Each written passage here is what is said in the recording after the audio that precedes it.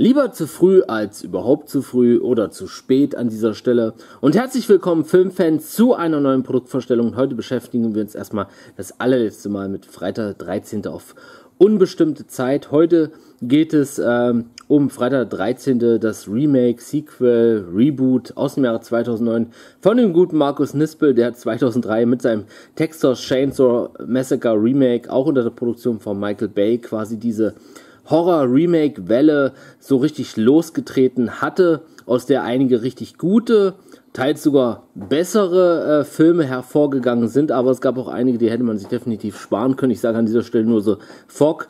Und ja, es hat nunmehr fast acht Jahre gedauert, bis es der Killer Cut überhaupt mal in den deutschsprachigen Bereich geschafft hat. Zuvor gab es diese äh, um gut 9 Minuten 46 Sekunden längere äh, Schnittfassung nur ähm, halt in den USA oder UK auf DVD und Blu-ray zu kaufen. Und jetzt wurde quasi dieser Teil innerhalb dieser Mediabook-Reihe noch ausgewertet. Obwohl sich der Release eigentlich auf den 3.8. verschoben hatte, aufgrund von produktionstechnischen Problemen, ist das Teil jetzt doch knapp eine Woche nach den anderen drei Teilen rausgekommen. Also konnte man dieses Problem schneller ausmerzen als gedacht. Und ja, jetzt können wir uns mehr oder weniger dann noch dem letzten Mediabook zuwenden und am Ende wird es natürlich ganz klar ein kleines Resümee und Fazit von meiner Seite aus geben, was diese jetzt unkomplettierte Reihe an sich angeht und was vielleicht in Zukunft noch äh, passieren mag mit den Filmen, die mehr oder weniger noch fehlen. Ja, ich habe natürlich in meiner Sammlung noch die anderen beiden DVD und Blu-ray für euch rausgekramt, die ich von diesem Film schon länger hatte, also mehr oder weniger eigentlich schon nach Erscheinen, nachdem der Film im Heimkinobereich ausgewertet äh, worden ist. Und ähm, natürlich hier in Deutschland kam natürlich nur die Kinofassung raus. Paramount hat sich mal wieder geweigert, die längere Fassung rauszubringen. So war es ja damals auch bei Ruinen gewesen. Das lag sicherlich nicht nur daran, dass man eventuell Probleme befürchtete wegen der FSK-Freigabe, sondern auch deswegen, weil ähm, der Film selber hierzulande eher ein kapitaler Flop war. Er hat im Grunde genommen kaum jemand interessiert. Die meisten haben dann diese Neuauflage dieses Franchises dann erst in den Videotheken, halt erst im Heimkino wieder für sich entdeckt und da dürfte der Film sicherlich ganz ordentlich gelaufen sein. Interessant ist ja auch, dass 2009 die beiden Darsteller aus Supernatural, Jared Padalecki, der in Freitag 13. die Hauptrolle hat, und Jensen Ackles, der dann im Bloody Valentine 3D in dem Remake äh, die Hauptrolle hatte, sich dann so einen kleinen Battle am äh, Box Office geliefert hatten, zumindest in den USA. Beide Filme haben doch sehr gut abgeschnitten. Es war auch ein Sequel für die Neuauflage von Nispel angedacht gewesen für 2010. Die hat man dann allerdings verworfen, weil man davon ausgegangen ist, dass dieses Sequel dann weitaus weniger Geld einspielen würde. Es war sogar noch eine TV-Serie geplant gewesen. Die wurde allerdings dann doch auf Eis gelegt und ja, durch den Misserfolg von Rings Anfang des Jahres ähm, wurde dann auch die Produktion des neuesten Freitag 13. Teils, der ja auch in diesem Jahr in die Kinos kommen sollte, dann letztlich auch komplett gestoppt und gecancelt. Also der Film stand eigentlich kurz davor, produziert zu werden, gedreht zu werden und dann hat Paramount mehr oder weniger äh, ja, die Notbremse gezogen und hat gesagt, nee, daraus wird nichts. Rings hat einfach zu wenig Geld eingespielt. Und daran sieht man erst recht, wie Horrorfilmfan unfreundlich dieses Studio bzw. Label ist, wenn man noch bedenkt, wie viel Geld sie in den 80ern eigentlich mit den meisten Teilen ähm, eingenommen haben. Äh, von denen sie die Rechte haben. Und ja, dieser Lizenzdeal zwischen 84 Entertainment und Paramount ist halt so eine Sache für sich, aber Ruin dürfte jetzt auch irgendwann mal als Mediabook rauskommen. Dann in der längeren Unrated Version. Allerdings auch nur mit deutscher Untertitelung bei den ganzen neuen Szenen, so wie es hier auch äh, bei dem Killer Cut an sich ist. Und ja, ich komme jetzt auf jeden Fall erstmal zu den Versionen, die ich von dem Film eigentlich habe. Und da haben wir natürlich ganz klar erstmal die normale, reguläre DVD. Ähm, Erstauflage hier von Paramount, die ohne Wendecover daher kommt, mit einem recht hübschen Cover, wo man natürlich den guten Jason sieht. Man sieht, dass er eigentlich eine relativ große Statur ist, relativ schlaksig ist. Er wird von Derek Mears verkörpert eigentlich einen richtig guten Job gemacht hat, da Jason hier wieder äh, von den Drehbuchautoren menschlicher gemacht worden ist. Er ist auch jemand, der in gewisser Weise über sowas wie eine Intelligenz verfügt. Er kann Bärenfallen aufstellen, er kann sehr gut mit dem Bogen umgehen, also ist ja ein ziemlich guter Schütze. Das ist damit zu erklären, dass er als Kind ähm, sehr oft äh, bei solchen Turnieren, wo es natürlich um ähm, Bogenschießen geht, äh, sehr oft gewonnen hat. Man sieht sogar in einer Szene, aber da muss man zweimal hinschauen, wenn da diese beiden Jugendlichen da am Anfang des Films diese heruntergekommene Hütte kommen, so ein paar Auszeichnungen sogar an der Wand äh, hängen oder auch stehen. Ähm, das ist auch eine Sache, von der ich vorher nie wusste. Darauf wird auch ein bisschen im Booklet äh, des Mediabooks drauf eingegangen. Und mir selber kennt man vor allem als Stuntman, aber auch als Darsteller meistens von irgendwelchen Monstern oder Killern, wie zum Beispiel in Hatchet 3 oder in The Hills Have Eyes 2, wo er Chameleon verkörpert hat, oder in Men in Black 2 auch, wo er als Alien mit von der Partie war. Und er macht das hier eigentlich richtig gut. Deswegen wäre er eigentlich prädestiniert gewesen für einen weiteren Teil, aber daraus ist ja leider nichts geworden. Ja, ansonsten äh, bietet die DVD eine wirklich gute Qualität ja, der Film ist von 2009, hat natürlich schon ein paar Jahre auf dem Buckel, aber ist wirklich ordentlich. Es wurden ja eigentlich äh, so gut wie alle Extras übernommen. Es wurden für, den Deutsch, für die deutschsprachigen Releases auf Blu-ray und DVD natürlich ein paar Extras weggelassen, wie der Picture-in-Picture Trivia Track und auch das äh, Feature mit den besten sieben Kills aus diesem Film. Und dann kommen wir natürlich bis zu der bis dato besten VÖ für mich. Ich würde sogar immer noch sagen, dass es nach wie vor die beste VÖ ist, und zwar diese US Import Blu-ray, die natürlich ohne deutschen Ton daherkommt, immerhin alle beiden äh, Filmfassungen auf einer Disc drauf hat. Und wo es natürlich interessant ist, ansonsten moderne oder auch alte Horrorfilme, von denen an, es Unrated-Fassungen gibt, die kommen eigentlich in der Regel nur Unrated raus und werden nicht der MPAA vorgelegt. Hier war es allerdings so, dass man doch zur MPAA gegangen ist und dadurch hat der Film dann auch ein R-Rating bekommen, wie man hier natürlich ganz klar sieht hier an diesen. Und das gab eigentlich nur den einzigen Zusatz Nudity, Nacktheit. Ja, hier gibt es ein bisschen mehr Nacktheit äh, zu sehen. Insgesamt wurden zwölf Szenen mit erotischem Material ein bisschen aufgefüllt, einiges an äh, Alternativmaterial quasi.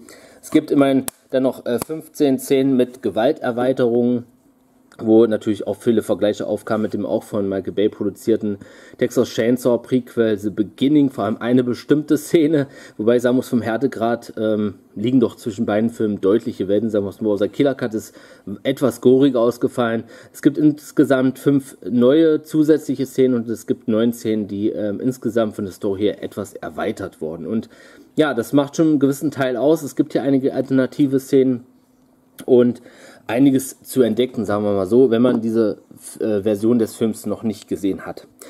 Ja, das Mediabook ist so wie alle bisherigen Mediabooks ähm, aus dieser Reihe gestaltet worden. Es ist jetzt auch mehr oder weniger der letzte Titel, der innerhalb dieser Reihe rauskommt. Dann ist natürlich fraglich, wie man dann weiter verfährt mit der Lizenz, ob man dann erstmal ganzen Filme normal in den deutschen Handel bringt, natürlich in schlichteren Cases, aber auch mit dem kompletten Bonusmaterial oder ob man dann weitere Media-Auflagen bringt oder Hardboxen, sei jetzt mal dahingestellt, was da noch kommt. Allerdings ist dieses Mediabook zwar auf 2000 Stück limitiert wie alle anderen, aber es ist hier mal wieder keine individuelle Limitierungsnummer drauf zu finden. Also die müsst ihr euch selber ähm, ausdenken, sagen wir es mal so. Da war wirklich Paramount Hard an dieser Stelle, hat gesagt, nein, keine Limitierungsnummern und auch kein 84-Logo auf äh, der Verpackung selber. Deswegen haben wir hier wieder diesen schönen Viertelschuber an sich, äh, der auch wieder so klassisch gestaltet ist, dass wir hier mehr oder weniger hier auf der rechten Seite quasi oder auch links, von links aus gesehen, äh, die, die, Hauptfigur haben, Jared Padalecki und auf der anderen Seite natürlich den guten Jason. Und die beiden sich mehr oder weniger anschauen. Man könnte glatt denken, der gute Jason lädt jetzt den guten Jared äh, zu Kaffee und Kuchen ein. Es war ein anstrengender Tag mit viel Geschnetzel und Gemetzel und damit war ein bisschen entspannen. Und ja, hier würde ich eher so auch den Zusatz 3 Limited Special Edition am meisten bemängeln. So, man kann natürlich alles doppelt und dreifach auf die Disc draufpacken, so ist es hier schon fast. Aber äh, man hätte sich auch sagen können, komm, wir machen nur zwei Discs, weil ich, äh, es gab früher schon DVD-Auflagen, da waren zwei Filmfassungen auf einer DVD und das hat der Qualität dennoch nicht geschadet, auch wenn man das Bonusmaterial weggenommen hat oder ein bisschen wegrationalisiert hat. Kann ich es hier nicht verstehen, da hier mehr oder weniger auf den beiden DVDs, die hier noch beiliegen, auf einer die Kinofassung dabei ist und auf der anderen der Killer Cut, aber die Kinofassung selber ja eigentlich auf der DVD mit drauf ist, wo Bonusmaterial draufsteht und dort nicht mal das komplette Bonusmaterial drauf ist, dafür natürlich auf der kompletten Blu-ray an sich, wo dann auch noch die Kinofassung unter den Extras anwählbar ist. Ja, gut, dann schauen wir jetzt natürlich erstmal den Viertelschuber an, der wirklich wieder sehr gut gestaltet worden ist. Da kann man definitiv nicht meckern, muss ich sagen.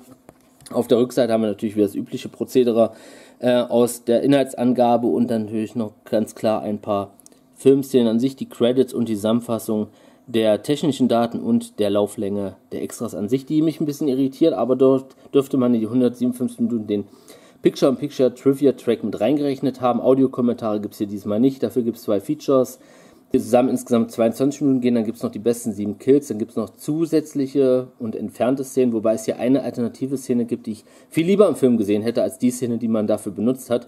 DVD-Version ist nach wie vor kein Extra und das wirklich sehr informative 28-seitige Booklet von Christoph N. Kallerbach. Da kann man definitiv nicht meckern. Und dann werfen wir natürlich ganz klar einen Blick auf dieser wieder sehr schöne Haptik, Optik äh, des Mediabooks, was wieder in dieser sehr schönen Lederoptik daherkommt. Da kann man echt nicht meckern. Ich muss sagen, das ist mitunter einer der besten Maskenmotive überhaupt, was man innerhalb dieser Mediabook-Reihe bringen konnte. Das Bein ist auch wieder ähm, gut gestaltet, passt von der Kontinuität auch wieder sehr gut zu den anderen Teilen und hier natürlich ganz klar das Innenleben der Maske. Ja, dann kommen wir natürlich in die Inner, zu den Innereien des Mediabooks und hier haben wir erstmal auf der linken Seite den, die Blu-ray, die den Killer Cut und die Kinofassung samt dem kompletten Bonusmaterial enthält. Hier drauf sieht man natürlich den guten Jason, bevor er mehr oder weniger zu der legendären Eishockey-Maske kommt, noch mit dem stilvollen Jutesack über dem Kopf. Dann haben wir auf der rechten Seite die DVD mit dem Killer Cut und einigen Bonusmaterialien und oben die vermeintliche Bonus-Disc, sagen wir es mal so, die allerdings nicht wirklich eine richtige Bonus-Disc ist, wo nur ein paar Extras drauf sind und die Kinofassung äh, des Films. Im Hintergrund haben wir natürlich ganz klar ein schönes Innenmotiv, was mir auch sehr gut gefällt. Ähm, ist eines dieser bekannteren Motive, wo diese junge blonde Dame vom Wasser aus plötzlich am, ähm, ja, am Waldrand Jason stehen sieht. Finde ich sehr gut umgesetzt von der Stilistik her. Und dann schauen wir uns natürlich ganz klar noch das Booklet an, wo natürlich ganz klar darauf eingegangen wird, auf diesen Remake Wahn im Horrorbereich, der durch TCM entstanden ist und dass man die Filme relativ günstig produzieren konnte und wie die Autoren auf die Idee gekommen sind, ähm, ja, den guten Jason Voorhees wieder menschlicher anzulegen, dann ganz klar auch ähm, den Erfolg des Films. Dann geht es natürlich ganz klar auch wieder um die Schnitte, die man für, diese, äh, für die Kinofassung immerhin vornehmen musste. Also in der Killer Cut-Fassung sind die ganzen Kills wirklich in voller Länge zu bestaunen. Hier natürlich ein schönes Bild in der Mitte.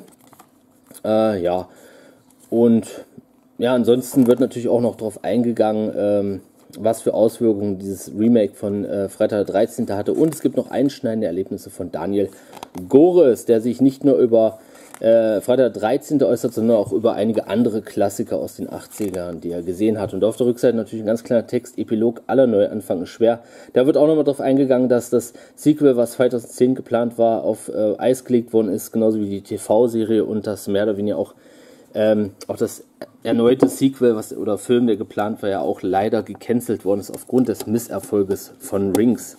Ja, nächstes Jahr gehen natürlich die Rechte wieder zurück an äh, New Line Cinema und Warner Brothers vielleicht schaffen dies dann, einen neuen Freitag 13. Teil zu produzieren, wäre natürlich eine feine Sache. Da würde ich mich de definitiv mal drüber freuen, vor allem wenn ich daran denke, dass auch einstmals in, innerhalb der Supernatural-Serie einer der allerersten Staffeln sogar ein Auftritt von Jason geplant war, aber der nie zustande gekommen ist. Ich fand, das war eigentlich eine ganz nette Idee, aber man hat irgendwie nie was draus gemacht. Und ja, wenn man die Teile natürlich nebeneinander stehen hat, hat man natürlich eine wirklich sehr, sehr äh, schöne, passende Mediabook-Reihe, die allerdings leider jetzt unkomplettiert ist. Und da haben wir natürlich noch äh, die anderen Teile mehr, beziehungsweise das Crossover, die ja dann mehr oder weniger auch darauf warten, eventuell nochmal in einer Sonderverpackung aufgelegt zu werden. Und im Hintergrund brodelt natürlich schon die Gerüchteküche, aber es wird sich erst in den nächsten Monaten zeigen, ob dem wirklich so ist, weil es ist halt die Frage, ob jemand anders sich die Rechte angelt, ähm, dann eigentlich so genau was Gleichwertiges auf die Beine stellt, was den Look der Mediabooks an sich oder der VÖ an sich angeht oder einen komplett anderen Weg geht. Und dürfte natürlich ganz interessant anzusehen sein. Ansonsten muss man einfach sagen, äh, ist es halt, wenn man einmal damit anfängt, dann kann man halt nicht einfach damit aufhören. Natürlich, es gibt Leute, die haben nur einen Lieblingsteil, so den holen sie sich dann halt in dieser Fassung und ansonsten bleiben sie bei den normalen, regulären DVD-Auflagen.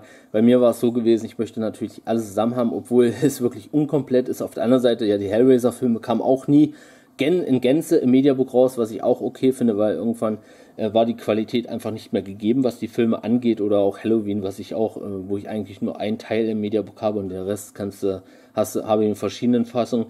Ja, wird sich natürlich äh, mal wieder zeigen. Auf der anderen Seite, ganz klar vom Preis her, sind die Dinger schon echt gepfeffert, muss man einfach mal sagen.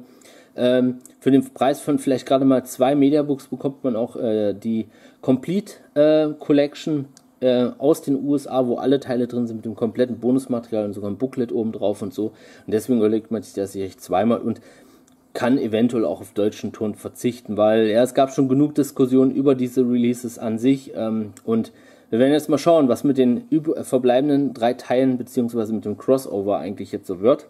Und ihr könnt natürlich in die Kommentare reinschreiben, wie ihr so bisher diese Veröffentlichung von Freitag der 13. von 84 Entertainment fandet allgemein natürlich, ich muss sagen, es ist im Grunde genommen solide Release, aber Vor allem von der Optik, vom Booklet her sind sie sicherlich sehr toll, aber wenn man sich so einige andere Sachen nebenbei anschaut, hätte man sicherlich ein bisschen so das Ganze etwas durchdenken sollen im Allgemeinen. Man hätte nicht unbedingt hier drei Disc-Editionen oder sowas machen können, man hätte es äh, definitiv auch ein bisschen kleiner halten können, den Rahmen an sich, aber jetzt ist es nun mal so. Und wie ihr die Filme im Allgemeinen findet, natürlich könnt ihr mir all eure Gedanken in die Kommentare reinschreiben und das war es jetzt auch an dieser Stelle mit meinem erstmal vorerst letzten Video zum Thema Freitag der 13. hier mit dem ähm, wattierten Mediabook zum Killer Cut von Freitag der 13., dem Remake, Sequel, Reboot von 2009. Ich hoffe, es hat euch gefallen und bis zum nächsten Mal zu einem neuen Video hier auf diesem Kanal. Ciao, euer Chris.